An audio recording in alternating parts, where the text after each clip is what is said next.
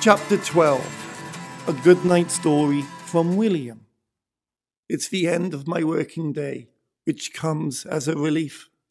It's exhausting having to sit down all day, looking at screens, checking air supplies, food supplies, water supplies, charts, star maps, trajectories, speed meters, all of which, when designed for a journey that will take a millennia, hardly change over the course of a day or two.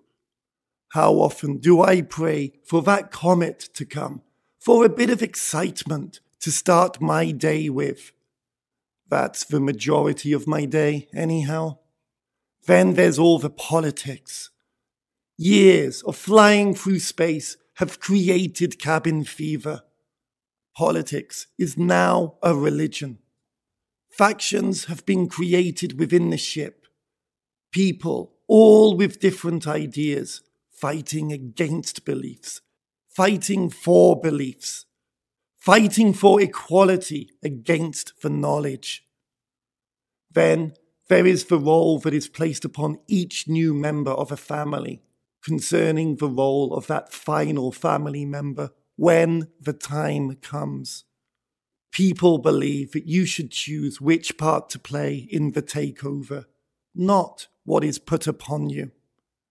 Others believe that the knowledge is all powerful and should not be ignored. The fighting, the destruction, the wars fought within such a confined space. Much of it before my time, but we are here now. Tensions are at an all time high. Expectations placed upon me as the chosen one to lead them through it all. I had a dream last night.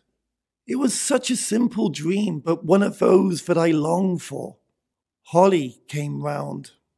We were playing our musical instruments together. We both play the same stringed instrument. It was the first time we ever met. Conversation was stilted, but no more so than usual between two relative strangers. She had only come round because I had invited her. Conversation seemed of the least importance. We were playing together, harmonizing, improvising, but what I was playing sounded wrong. Eventually, I managed to get the settings right on my pedal, what I call the Godspeed settings, and then everything I was playing made sense. She looked at me and with a smile said, That's nice. Simple. But it's the only time I can ever think of that anyone has ever really spoken to me in a dream with such sincerity and clarity. Certainly the only time where I've been able to remember what was said after waking. It warms my heart to think about it. Soon we gave up and she started telling me about the TX82 sampler she had. Very rare, difficult to get hold of, but she wanted another one. I promised her that I would do anything I could to get hold of one for her. That's when I woke. I would like to think that Holly existed, that she is out there somewhere waiting for me.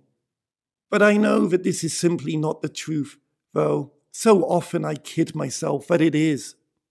She does not exist. She is an embodiment of. of. of my ideal of true love. That she comes to me in my dreams and makes me want to be with her forever. But there is a catch in the clause. By embodying my image of true love, I can love only her because well, what are the chances of me ever meeting anyone exactly like this? I begin to wonder if that's why she rejects me in my dreams. She pushes me away so that I will have to go out and find someone else. But, Holly, it doesn't work. I want only you. I sit down to watch the vision monitor similar to Earth Cinema but accessible at home.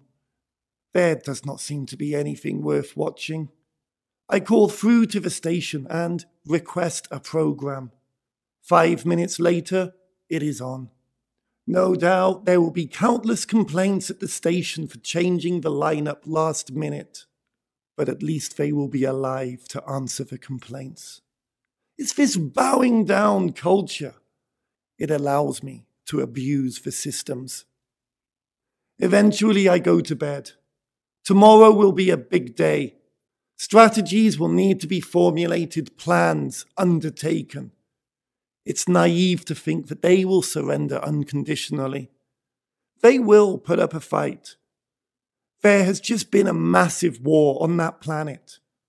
No doubt, many are still bloodthirsty, still wanting to wreak their revenge on something for the millions that died, the friends and family lost.